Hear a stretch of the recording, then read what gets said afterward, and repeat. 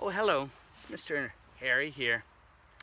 I'm lying on the forest floor today and I was wondering what lies underneath all of the leaves and sticks on a forest floor. So I started to investigate and well first I, I found some of this which is soil. That's what's under the leaves and the sticks. But as I looked a little closer I found hmm, some of these. What is this? Hmm. They're long and wiggly and thin.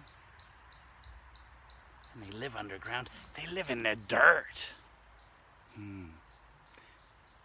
you said worms, you're absolutely right. These are worms. And they got me wondering, why do they live in the dirt? Would you like to live in the dirt? Hmm. They got me wondering too, what do they do down there? What do they eat? Hmm. What do they do for the earth? Another question I had was, what can we do to help the worms? Hmm. So many questions.